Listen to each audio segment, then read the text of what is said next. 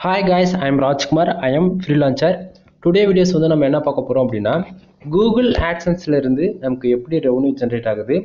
தென் நம்ம எந்த கண்ட்ரியை டார்கெட் பண்ணி ஆர்டிக்கிள் மேக் பண்ணுறது மூலிமா சிபிசி வந்து அதிகமாக நம்ம இன்க்ரீஸ் பண்ணிக்க முடியுன்றதை நம்ம டீட்டெயில்டாக பார்க்க போகிறோம் சரிங்களா? ஸோ என்னோடய சேனலுக்கு வந்து புதுசாக நீங்கள் வந்து விசிட் பண்ணுறீங்க அப்படின்னா நான் எது போல் வீடியோஸ் கொடுக்குறேன் அப்படின்றது உங்களுக்கு ஒரு ஐடியா இல்லாமல் இருக்கும். சரிங்களா? அது நானே சொல்லிடுறேன். நான் ஆட்சன்ஸ்னால் என்ன? வெப்சைட்னா என்ன? அதாவது பிளாகிங் ஃபீல்டில் வந்து நீங்கள் புதுசாக என்ட்ரி ஆகுறீங்க அப்படின்னும் போது உங்களுக்கு தெரியாது சரிங்களா?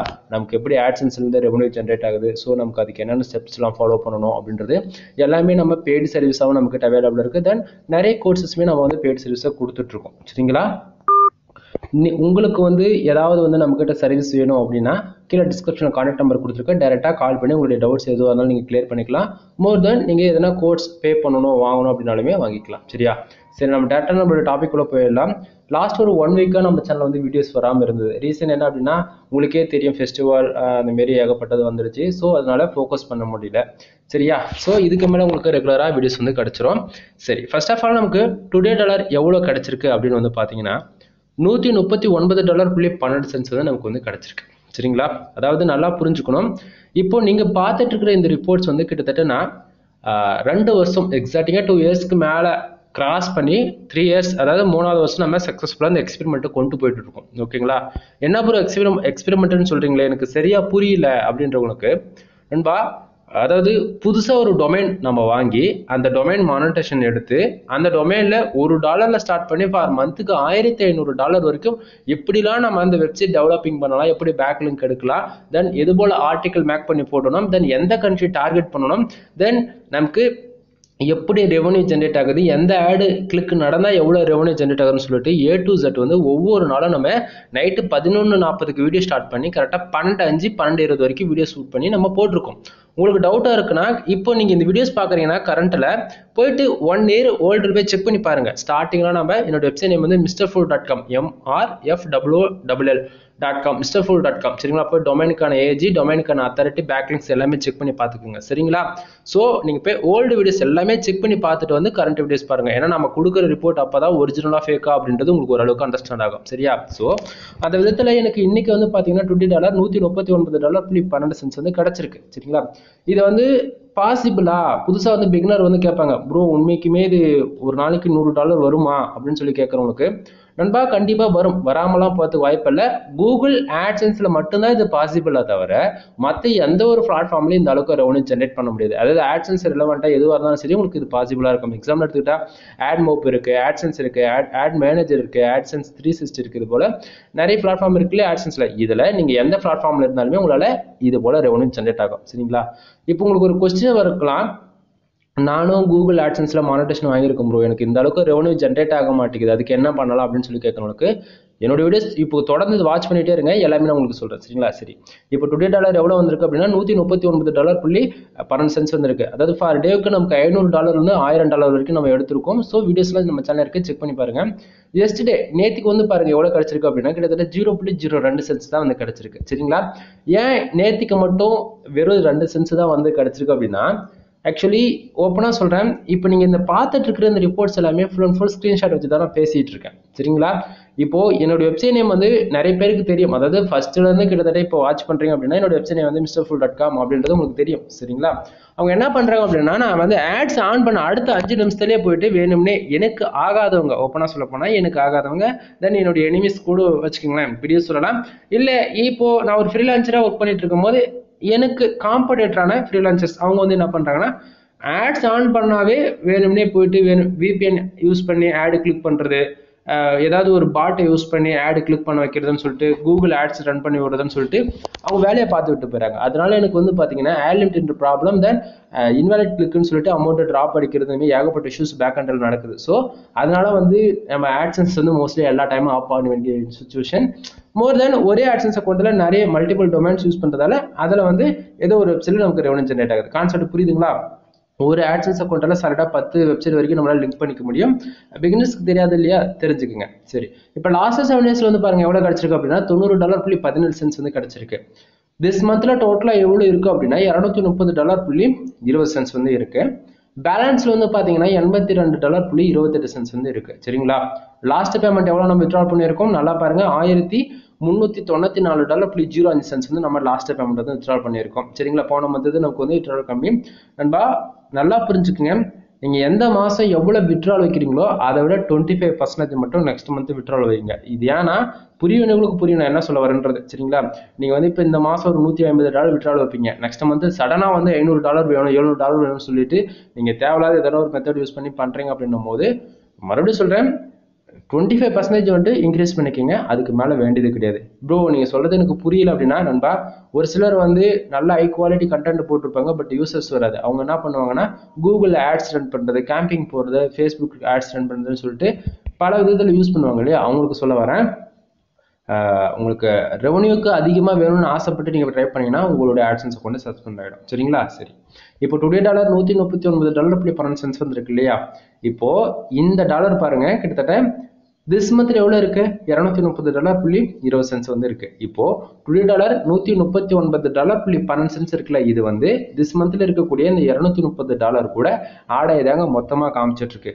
அதாவது கூகுள் ஆட்சன்ஸ் பொறுத்தவரைக்கு ஒவ்வொரு ஒன் ஹவருக்கு ஒரு டைம் நமக்கு அப்டேட் ஆகிட்டே இருக்கும். அந்த விதத்தில் டுடே டாலர் நமக்கு ஒரு டாலர் வந்தாலும் சரி பத்து டாலர் வந்தாலும் சரி ஆயிரம் டாலர் வந்தாலும் சரி டுடேவில் எவ்வளோ இருக்கோ அது எல்லாமே திஸ் மந்த்தில் ஆட் ஆகி தான் காட்டும். ஸோ அந்த விதத்தில் இந்த நூற்றி முப்பத்தி ஒன்பது டாலர் புள்ளி பன்னெண்டு சென்ஸ் வந்து மொத்தமாக இந்த திஸ் மந்த்தில் இரநூத்தி முப்பது டாலர் புள்ளி இருபது சென்ஸ் இருக்கு இல்லையா? அது கூட ப்ளஸ் பண்ணி தான் காமிச்சிட்டு இருக்கு சரிங்களா? எப்பயுமே நீங்கள் எஸ்டேவோ லாஸ்ட் செவன் டேஸ் அமௌண்ட் கணக்கில் எடுத்துக்கவே எடுத்துக்காதீங்க. இது ஏன் நான் சொல்கிறேன் அப்படின்னா எஸ்டிடே இப்போ நைட்டு கரெக்டாக டுடே டாலர் எவ்வளோ இருக்குது இப்போ நூற்றி முப்பத்தி மூணு டாலர் இருக்குன்னு வச்சுக்கோங்களேன் அது நைட்டு ஒரு பன்னெண்டு பன்னெண்டு அஞ்சு இந்த டைம் காண உடனே டுடே வந்து எஸ்டேக்கு மூவ் ஆகிடும் சரிங்களா? அப்போ எஸ்டேல இருக்கக்கூடிய அமௌண்ட் எங்க ஆகும்னா லாஸ்ட் செவன் டேஸ்க்கு போய் இது கூட ஆட் ஆகும். அப்போது எஸ்டர்டேவில் இப்போ நூற்றி முப்பத்தி ஒன்பது டாலர் வந்துருச்சு இல்லையா? இது வந்து அப்போ மறுபடியும் இன்னொரு நாள் உடனே இந்த லாஸ்ட் இப்போ தொண்ணூறு டாலர் இருக்குல்ல லாஸ்ட் செவன் டேஸில் அது கூட சேர்த்து மொத்தமாக காட்டுமானா கிடையாது நண்பா. ஏன்னா இது லாஸ்ட் செவன் டேஸ்க்குன்னு ரிப்போர்ட் இல்லையா? அது அதிகமாகவும் காட்டும் கம்மியாகவும் காட்டும். ஸோ எஸ்டர்டேவும் லாஸ்ட் செவன் டேஸ்க்கு என்றைக்குமே கணக்கில் எடுத்துக்க கூடாது. சரிங்களா? இப்போ பேலன்ஸ் வந்து இப்போ எண்பத்தி ரெண்டு டாலர் புள்ளி இருபத்தெட்டு சென்ஸ் இருக்குன்னா இது வந்து எப்போ விட்டால் நடக்கும் அப்படின்னா கூகுள் ஆட்சன்ஸ் பொறுத்தவரைக்கும் நமக்கு நூறு டாலர் வந்தாலே ஆட்டோமேட்டிக்காக நம்ம பேங்க்குக்கு வந்து அனுப்பிச்சி விட்ருவாங்க அப்படி இல்லைன்னா நம்ம மேனுவலாக முந்நூறு டாலர் வரைக்கும் ஃபிக்ஸ் பண்ணி வச்சுக்கலாம். நம்ம ஆட்சன்ஸோட செட்டிங்ஸில் போயிட்டு. சரிங்களா? சரி. இப்போ உங்களுக்கு ஒரு டவுட்டாக இருக்கும். இப்போ ஒரு நாளைக்கு நூறு டாலர் உங்களுக்கு மட்டும் வருதில்ல அப்போ நீங்கள் என்ன மாரிலாம் ஒர்க் பண்ணுறீங்க என்னோட மெத்தட்லாம் யூஸ் பண்ணுறீங்கன்னு கேட்டிங்கன்னா அதாவது நீங்கள் கேட்குறீங்க அப்படின்னா அதுக்கு நாம என்னுடைய பதில் என்னவா இருக்கும் அப்படின்னா கண்டிப்பாக வாட்ச் பண்ணுங்க. இப்போ என்னோட வெப்சைட்டுக்கு பாருங்க எவ்வளோ பேர் வந்திருக்காங்க? தொள்ளாயிரத்தி ஐம்பத்தி ரெண்டு பேர். அதாவது பேஜ் யூஸ்னு இருக்குல்ல அதை தான் சொல்லிட்டு இருக்கேன். அந்த பேஜ் யூஸ்னா என்ன அப்படின்னா நண்பா இப்போ நான் ஃபார் அதாவது எப்படி சொல்றது? நான் ஒரு மூவாயிரம் ஆர்டிக்கல் பப்ளிஷ் பண்ணியிருக்கேன் கிட்டத்தட்ட. மூவாயிரம் ஆர்டிகளுக்கு கிட்டத்தட்ட ஒரு நாளைக்கு வெறும் தொள்ளாயிரத்தி ஐம்பத்தி ரெண்டு பேர் தான் வராங்க அந்த கான்செப்ட்ல அவங்க வந்து கீழே பாருங்க கிளிக்ஸ்னு போட்டு நாற்பதுன்னு இருக்கு. கிட்டத்தட்ட என்னோட வெப்சைட்டுக்கு தொள்ளாயிரத்தி ஐம்பத்தி ரெண்டு பேர் வந்திருக்காங்க. கிட்டத்தட்ட அதுல நாற்பது பேர். அவங்க தெரிஞ்ச ஆடு கிளிக் பண்ணாங்களோ அல்லது தெரியாம ஆடு கிளிக் பண்ணாங்களோ அல்லது வேணும்னே கிளிக் பண்ணாங்களோ ஓகேங்களா? கூகுள் ஆட்சன்ஸ் பொறுத்த வரைக்கும் நமக்கு ஆடு கிளிக் நடந்தா ரெவன்யூ ஜென்ரேட் ஆகும் இல்லைன்னா நடக்காது. இதுதான் உண்மை. ஸோ இம்ப்ரெஷனுக்கே காசு கொடுக்கணும்னு சொன்னாங்க. அது அந்த அளவுக்கு கிடையவே கிடையாது வரவும் இல்லை. தென் நிறைய பேருக்கு ஆடு கிளிக்கே கவுண்டிங் ஆகலை அப்படின்றத ஒரு பிரச்சனையே போயிட்டு இருக்கு இப்போ. ஆனால் பட் ஆடு கிளிக் நடந்தால் தான் ரெவன்யூன்றது ஆட்சன்ஸ் அதிகமாக கிடைக்குன்றதை மட்டும் நல்லா மைண்டில் வச்சுக்கோங்க. சரிங்களா? சரி. இப்போ தொள்ளாயிரத்தி ஐம்பத்தி ரெண்டு பேர்ல இப்போ நாற்பது பேர் ஆடு கிளிக் பண்ணதால இந்த நூற்றி முப்பத்தி ஒன்பது டாலர் புள்ளி பன்னெண்டு சென்ஸ் ஃபார் டேவுக்கு கிடைச்சிருச்சு சரிங்களா? அது வந்ததுக்கான ரீசன் என்ன அப்படின்னா பக்கத்தில் பாருங்க page RPM and CPC actually இந்த பேஜ் ஆர்பிஎம் எவ்வளோ இருக்கு அப்படின்னா நூற்றி நாற்பத்தி ஆறு டாலர் புள்ளி பதினாறு சென்ஸ் இந்த பேஜ் ஆர்பிஎம்னா என்ன? இது இதுக்கு இம்பார்ட்டன்ட் கொடுக்க வேண்டிய ரீசன் என்ன அப்படின்னு சொல்லி கேட்டிங்கன்னா நண்பா நம்ம ஆட்சன்ஸ் அக்கௌண்ட்டுக்கு ஒரு நாளைக்கு ஆயிரம் டாலர் வரதுக்கோ அல்லது ஐயாயிரம் டாலர் வரதுக்கோ இது எல்லாமே இந்த பேஜ் ஆர்பிஎம் அண்ட் சிபிசி இது ரெண்டுத்துல மட்டும்தான் வேலையா இருக்கு மற்ற எந்ததும் கிடையாது சரியா? எக்ஸாம்பிள் எடுத்துக்கிட்டா இந்த பேஜ் ஆர்பிஎம் இப்போ நான் வந்து car insurance bike insurance insurance base பண்ணி ஃபுல்லாகவே யூஎஸ் யூகே இந்த மாதிரி ஆஸ்திரேலியா கனடா கண்ட்ரி டார்கெட் பண்ணி ஆர்டிகல் போட்டேன். அப்போ ஒரு ஆர்டிகளுக்கு சிபிசி மினிமம் முந்நூற்றி ஐம்பது டாலர் இருக்கு ஒரு கீவேர்ட்ஸ்க்குன்னு வச்சுக்கோங்களேன். அப்போ ஒரு யூசர் வந்து தெரிஞ்சு தெரியாம அதில் வரக்கூடிய கீவேர்ட்ஸ்க்கு உள்ள ஆர்கானிக்காக சர்ச் பண்ணி வந்து ஆட் கிளிக் பண்றாங்கன்னா அதுக்கு சிபிசி ஆவரேஜா நமக்கு எவ்வளவு இருக்கு? முந்நூற்றி ஐம்பது டாலர் இருக்குன்னு தெரிஞ்சிருச்சு நமக்கு. ஸோ அதுல ஒரு ஃபிஃப்டி பர்சன்டேஜ் கூட கிடைக்காது. ஸோ அந்த விதத்தில் தான் நமக்கு நூற்றி நாற்பத்தி ஆறு டாலர் புள்ளி பதினாலு சென்ஸ் வந்திருக்கு. இது வந்து ஓவராலாக தான் காட்டும். ஒரு ஆர்டிகளுக்கு மட்டுமே இது ஆடுகளுக்கு நடந்துட்டா இந்த அளவுக்கு வந்துருமான கிடையாது நண்பா. நமக்கு ஒரு யூசர்ஸ் வந்து ஒரு கீவேர்ட்ஸ் குழு வந்திருக்கலாம். அவர் என்ன பண்ணிருப்பாரு? அந்த கீவேர்ட்ஸ் குழு வந்துட்டு வேற ஏதாவது ஒரு பேஜ் கூட போயிட்டு ஆட் கிளிக் பண்ணிருக்கலாம். ஸோ இது வந்து ஓவராலாக தான் காட்டும். அது ஒவ்வொரு ஒன் ஹவருக்கு வந்து அதிகமாகவும் காட்டும் கம்மியாகவும் காட்டும். பட் பேஜ் ஆர்பிஎம் இன்க்ரீஸ் பண்ணணும் அப்படின்னா இன்சூரன்ஸ் லாயர் பேஸ் பண்ணி நீங்கள் ஆர்டிகல் மேக் பண்ணுறது ஒன் ஆஃப் த பெஸ்ட்டாக இருக்கும். சரிங்களா? சரி இப்போ ஒரு- ஒரு ஆடு ஒரு ஆடு கிளிக்கு நடந்துருச்சு அப்படின்னா நமக்கு நூற்றி நாற்பத்தி நாலு டா சாரி நூற்றி நாற்பத்தி ஆறு டாலர் புள்ளி பதினாறு சென்ஸ் வந்து கிடைக்க வேண்டிய இடத்த நமக்கு எவ்வளோ தெரியுமா கிடைக்குது? ஒரு ஆடு கிளிக்கு சிவிசி பாருங்க எவ்வளோ இருக்கு? முந்நூறு டாலர் புள்ளி நாற்பத்தெட்டு சென்ஸ் அப்போனா ஒரு யூசர் வந்து ஒரு ஆடு கிளிக் பண்ணாங்கன்னா நமக்கு சாலிடாக ஒரு மூணு அதாவது மூன்று டாலர் விதத்தில் சாலிடாக கிடைக்குதுன்னு அர்த்தம். சரிங்களா? சரி இம்ப்ரெஷன் எவ்வளோ இருக்கு? ரெண்டு கே அப்படின்னா ரெண்டாயிரம். இம்ப்ரெஷன் அர்த்தம். கேனா ஆயிரம் நண்பா.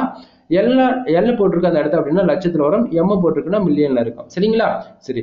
இப்போ இந்த இம்ப்ரெஷன் எதனால வருது? ஏன் வருது அப்படின்னா பேஜஸ் எவ்வளவு இருக்கு? தொள்ளாயிரத்தி ஐம்பத்தி ரெண்டு பேஜஸ் இருக்கு. கிட்டத்தட்ட இந்த தொள்ளாயிரத்தி ஐம்பத்தி ரெண்டு பேரும் அவங்க வந்து வெப்சைட்டுக்குள்ள எவ்வளவு நேரம் எவ்வளவு செகண்ட்ஸ் எவ்வளவு மினிட்ஸ் இருந்தாங்களோ அதை பொறுத்து இந்த இம்ப்ரெஷன்ன்றது கவுண்டரிங் ஆகும். இது மூலியமா நமக்கு ரெவன்யூ ஜென்ரேட் ஆகாது. பேஜ் வியூஸ் மூலியமாவும் ரெவன்யூ ஜென்ரேட் ஆகாது. சரிங்களா? தென் பேஜ் சிட்டியார் பாருங்க எவ்வளவு இருக்கு? நாலு புள்ளி இருபது பர்சன்டேஜ் இருக்கு. இப்போதைக்கு சைடு வந்து ஹண்ட்ரட் பர்சன்டேஜ் சேஃப் ஜோன்ல இருக்கு. எந்த ஒரு பிரச்சனை கிடையாது. இது ஏன் நான் இப்படி சொல்றேன் அப்படின்னா பேஜ் சிட்டியார் எப்பவுமே டென்னுக்கு மேல போகக்கூடாதுங்க டென்னுக்கு மேல போயிடுச்சு அப்படின்னா ஆலிமிட் ப்ராப்ளம் வரும். மோர் தென் அடிக்கடிக்கு ஆலிமிட்லாம் கொடுக்க மாட்டாங்க. அக்கௌண்ட்டே காலியாகி போயிடும். உங்க வெப்சைட் வந்து சேஃப் அண்ட் செக்யூரேட்டாக இருக்கணும்.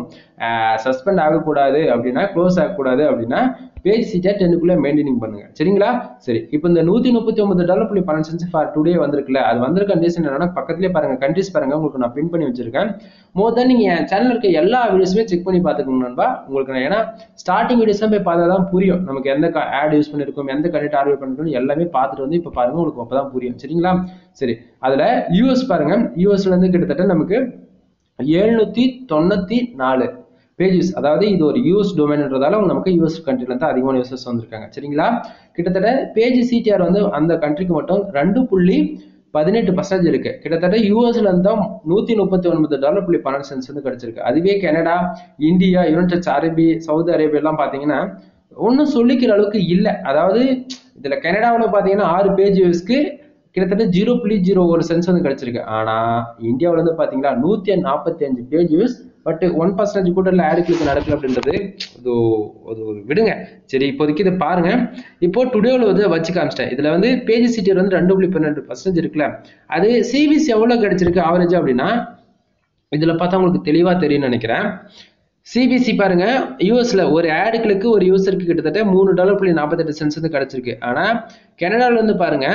ஆறு ஆறு பேஜ் யூஸ் மட்டும் தான் நடந்திருக்கு. ஜீரோ புள்ளி ஜீரோ ஒரு சென்ஸ் இது வந்து என்ன கான்செப்ட் அப்படின்னா யூசர்ஸ் வந்து ஒரு சில கீவேர்ட்ஸ்க்கு வந்து சர்ச் பண்ணி வந்தாலே ரெவன்யூன்றது ஒன்று ஜென்ரேட் ஆகும். ஸோ அந்த விதத்தில் ஜென்ரேட் ஆயிருக்கு. இந்தியாவில இருந்து நமக்கு வந்து கிட்டத்தட்ட நூற்றி ஐம்பத்தி நாலு யூசர்ஸ் வந்திருக்காங்க. எந்த ஒரு ஆடுகளுக்கும் நடக்கல. ஆனால் நீங்கள் இந்த வீடியோஸ் இந்தியாவில் இருந்தால் மோர் தென் எல்லாருமே தமிழ் யூசர்ஸ் தான் நீங்கள் பார்ப்பீங்க என்னுடைய ரெக்வஸ்ட் என்ன அப்படின்னா உங்களுக்கு பிகினராக இருக்கீங்க அப்படின்னும் போது உங்களுக்கு என்ன நேச்சர்ஸ் வருமோ அதில் நீங்கள் எடுத்து ஒர்க் பண்ணுங்க. ஒன்று அதுக்குன்னு நீங்கள் ஃபுல்லாகவே தமிழ் மட்டும்தான் டார்கெட் பண்ண போகிறீங்க இந்தியாவை மட்டும்தான் டார்கெட் பண்ண போகிறீங்கன்னா தயவு செஞ்சு அப்படி பண்ணாதீங்க.